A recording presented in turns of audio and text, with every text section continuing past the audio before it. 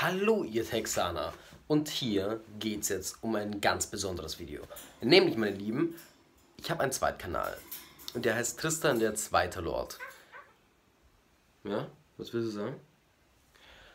Und der ist Tristan der Zweite Lord und ähm, ihr könnt bitte, also den, der, der existiert schon, existiert mindestens ein Jahr, obwohl ich glaube, der könnte sogar länger existieren als dieser Kanal, den ich jetzt habe.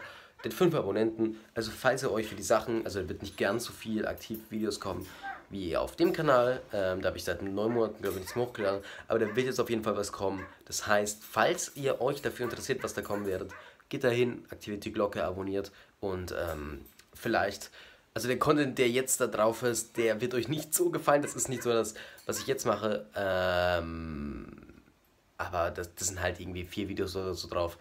Und ähm, das war halt ein bisschen was anderes. Aber falls es euch gefällt, schaut gerne mal rüber.